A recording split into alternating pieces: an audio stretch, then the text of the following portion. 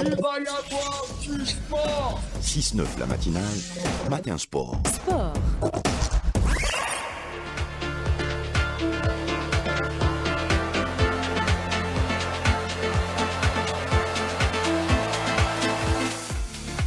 Bienvenue à tous sur les ondes d'Alger Chaîne 3, 6, 9 la matinale. Il est 8h, bientôt 15 minutes. On retrouve Ali Hamouche pour toute l'actualité sportive de ce week-end. Bonjour Ali. Bonjour Fatima. On commence avec les Jeux africains d'Accra qui se poursuivent aujourd'hui avec le coup d'envoi du tournoi de boxe. En effet, Fatima, donc euh, coup d'envoi aujourd'hui euh, du tournoi euh, de boxe avec la participation de plusieurs pugilistes algériens. Présentation de cette participation algérienne avec Hamza Arhmouni. Beaucoup d'espoir repose sur la boxe pour augmenter la moisson algérienne dans ces Jeux africains et s'approcher de l'Égypte qui survole cet événement. Le directeur technique national, Mohamed Meziane, nous parle des objectifs tracés par la fédération participer avec 8 filles et 11 garçons, donc euh, dans différentes catégories. Le premier objectif, c'est une euh, compétition quand même importante euh, africaine, ce qui va permettre à nos athlètes de se frotter donc avec les athlètes africains pour préparer le tournoi de qualification qui attend quelques athlètes en Thaïlande et surtout la préparation de nos athlètes qualifiés déjà, donc les deux filles et deux garçons qui sont qualifiés aux Jeux Olympiques compétition test pour eux. La DTN a décidé d'injecter du sang neuf dans la sélection afin de les préparer en prévision des prochaines échéances, comme l'indique le DTN Mohamed Il y a de nouvelles euh, athlètes qui sont euh, injectés dans ce groupe euh, pour essayer de les mettre dans le bain de la compétition africaine. Par exemple, Berkan Asma dans la catégorie des 54 kilos. Sa première compétition africaine, c'est une athlète jeune qui va certainement avoir un, avenir parce qu'elle a beaucoup de capacités.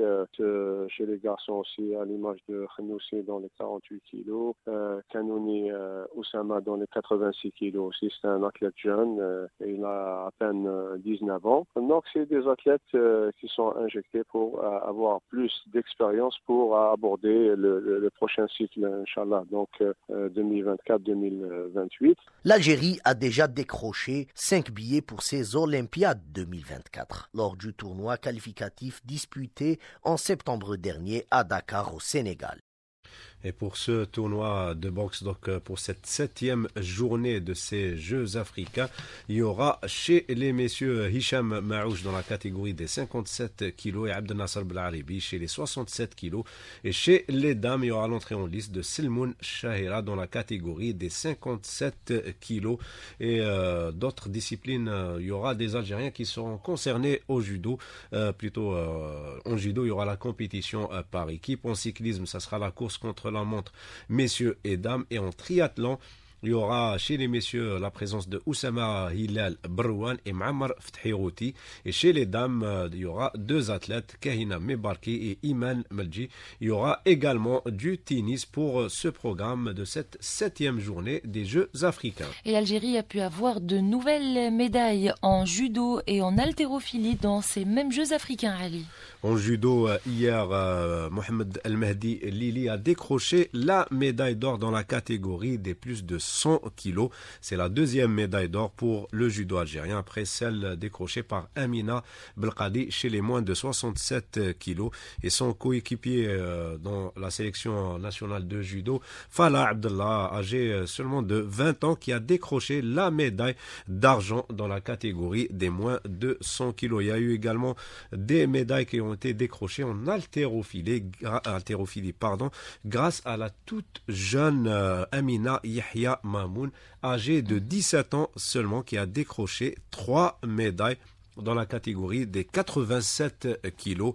À l'arraché, euh, Amina Yahya Mamoun donc a décroché la médaille d'argent. À l'épaule jetée, euh, elle s'est offerte la médaille de bronze également. Au total, avec un 193 kilos, Amina Yahya Mamoun qui a amélioré euh, tous ses records personnels. Et au tableau des médailles, après la sixième journée de compétition, l'Algérie donc qui reprend la troisième place avec un total de 86 médailles 22 en or, 29 en argent et 35 en bronze. L'Égypte reste intouchable, elle est à la première place avec 134 médailles, dont 76 en or. Il y a eu également hier euh, de, du volleyball avec nos volleyeuses qui se sont euh, imposées face aux Seychelles 3-7 à 2. On continue, à Ali Hamouche, cette fois-ci avec le football. Suite aujourd'hui de la 20e journée de Ligue 1, il y a eu également hier une rencontre entre le Mouloudia d'Alger et l'AS Ochlef. Hier, le Mouloudia d'Alger a fait preuve d'une démonstration de force face à l'AS en s'imposant 6 buts à 3. Donc, euh, le Mouloudia d'Alger qui était pourtant mené à la mi-temps 3 buts à 1, mais en deuxième mi-temps, l'attaque mouloudienne s'est réveillée en inscrivant 5 buts qui ont permis donc au Mouloudia de prendre les 3 points de cette rencontre et consolider sa première place euh, au classement, loin devant le Shabab Riyadi de Bilouizdet qui compte 12 points de retard. Sur cette victoire, on va écouter l'entraîneur du Moudia d'Alger, Patrice Baumel, qui explique ce qu'il a dit à ses joueurs à la mi-temps. À la mi-temps, j'ai dit que je pouvais changer les 11 joueurs, ils n'étaient pas à leur niveau. Je les ai piqués comme un père. Et un père qui a été juste, je pense. Je leur ai dit vraiment que ils dormaient, que je les reconnaissais pas, que j'avais honte. Et ils m'ont montré que je pouvais compter sur eux. Donc j'ai rapidement changé parce que j'ai senti que ce premier but qu'on prend, il fallait fallait de, de l'allant offensif, on arrive à égaliser mais on retombe dans nos travers où on était, euh, j'ai trouvé euh, en retard sur tous les ballons, sur les attaques, sur les défenses, on se faisait prendre en compte. Ils ont trois situations, c'est même pas des occasions, c'est des situations et on dort en fait. On avait tout préparé, les coups de pied arrêtés, on savait qu'ils étaient dangereux, on savait qu'il y avait des joueurs euh, qui avaient une grosse frappe de balle lointaine, on avait tout préparé. Et voilà, donc à la mi-temps, j'ai vraiment secoué tout le groupe. C'est pas un ou deux joueurs, c'est tout le groupe. En disant qu'on avait 45 minutes pour me montrer autre chose et vraiment marquer 5 buts en une c'est énorme, je les félicite et on voit que c'est une équipe qui a du caractère.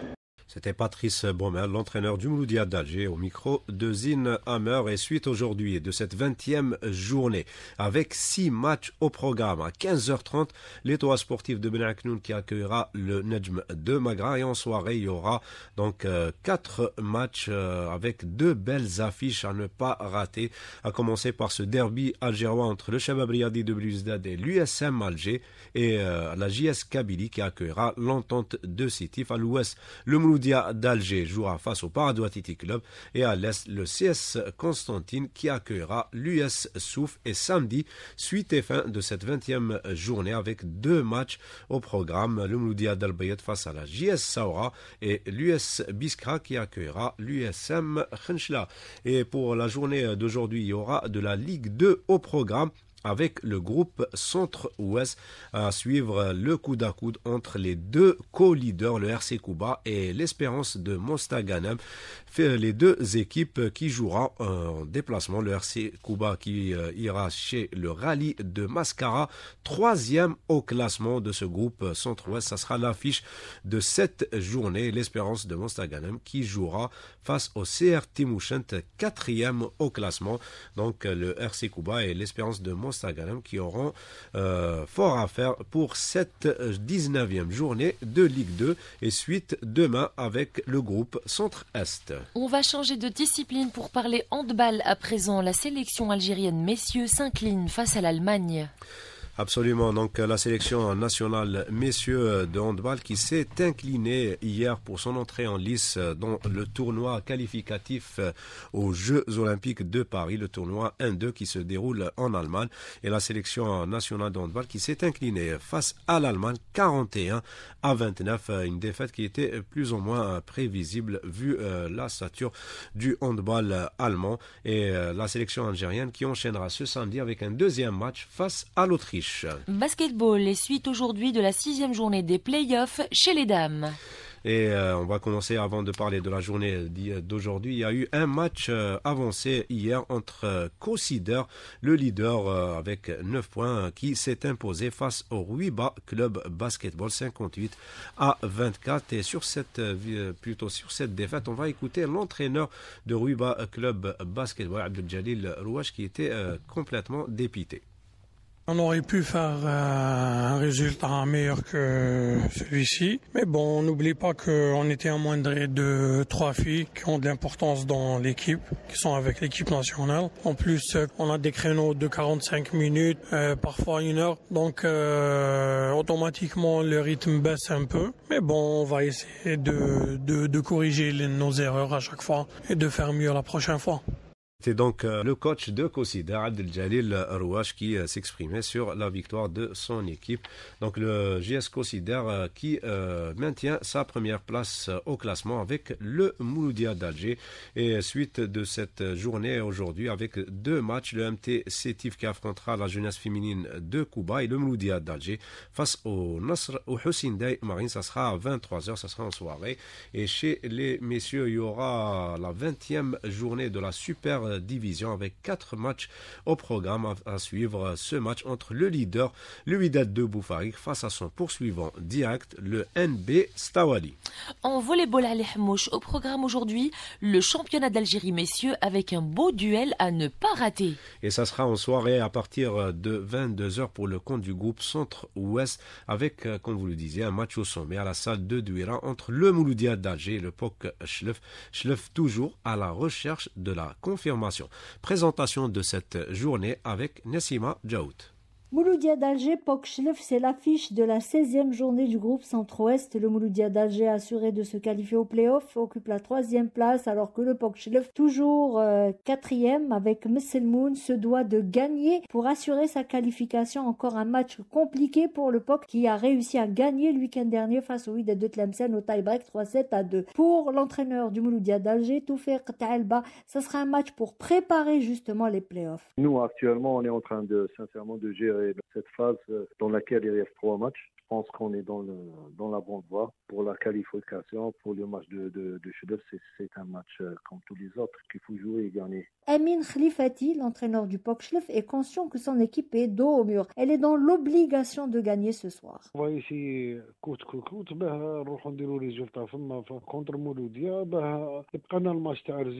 C'est pas un match vraiment difficile. Dans le cas où il y a un résultat positif contre Mouloudia, nous pouvons le, dernier match contre plus Par ailleurs, pas de souci pour les co-leaders. L'ASV Blida rencontrera une équipe mal classée avant-dernier au classement, l'équipe de Msila, alors que le de Tlemcen rencontrera Messelmoun. Messelmoun qui occupe la quatrième place aux côtés du Pokchlef et qui aura un match compliqué face au Wydad de Tlemcen, ce qui pourrait arranger les affaires du POC. Par ailleurs, l'Olympique al rencontrera un mal classé Iram, huitième au classement, alors que Batiwa, qui ne désespère pas, qui est sixième, et qui affrontera la lanterne rouge, la formation d'Arze. On continue à l'Ehmouche Football, Europa League, la Ligue Conférence, plusieurs Algériens qualifiés.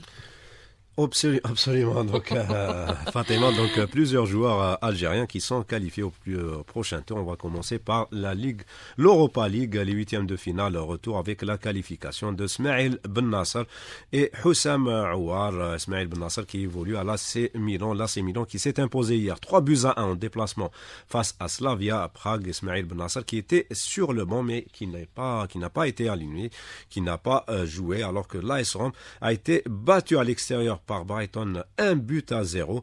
Houssam Aouar qui était remplaçant, qui est entré à la 83e minute de jeu, mais l'AS Rome qui s'est qualifié à l'issue euh, en faveur du match aller, elle s'est imposée 4 buts à zéro. Malheureusement, Issa Mondi n'a pas, euh, pas connu de qualification puisque son équipe Villarreal, malgré sa victoire 3 buts à 1 face à l'Olympique de Marseille, a été éliminée puisqu'au match euh, aller, Marseille s'est imposé 4 buts à 0. Euh, Mondi qui a pris part à toute la rencontre. Et dans cette, ces huitièmes de finale retour de la Ligue Europa, le carton de la soirée a été enregistré par Liverpool qui s'est imposé 6 buts à 1 face à Sparta Prague. Et en Europa, plutôt en Ligue Europa Conférence, il y a eu la qualification de Nabil Bentaleb avec Lille face à Sturm Graz. La rencontre s'est terminée sur un score de parité, un but partout. Mais au match aller, Lille s'était imposé 3 euh, buts à 0. Et Amora également, qui n'a pas joué avec l'Union Saint-Géloise, qui est allé s'imposer un but à 0 à Fenerbahçe. Mais malheureusement, l'Union Saint-Géloise qui a été éliminée puisque les Turcs se sont imposés au match aller 3 buts à 0. Chiffre du jour pour finir avec vous, Ali Hamouche 95 millions d'euros. 95 millions d'euros, c'est le prix euh, que le Paris Saint-Germain est prêt à mettre pour s'attacher les services de l'international anglais, l'attaquant euh, de Manchester United, Marcus Rashford. Donc euh, c'est, on va dire, c'est la prime juste pour l'indemnité de transfert. Et juste pour information, le Paris Saint-Germain est prêt à casser sa tirelire pour le salaire annuel de Marcus Rashford qui toucherait 30 millions d'euros et deviendrait ainsi euh, le joueur le plus cher du championnat euh, français après le départ euh, certainement de Kylian Mbappé. Et en livres sterling, ça lui ferait 500 millions de livres sterling par semaine. Très bien, merci beaucoup Ali Hamouche pour toutes ces informations. Il est 8h, bientôt 30 minutes.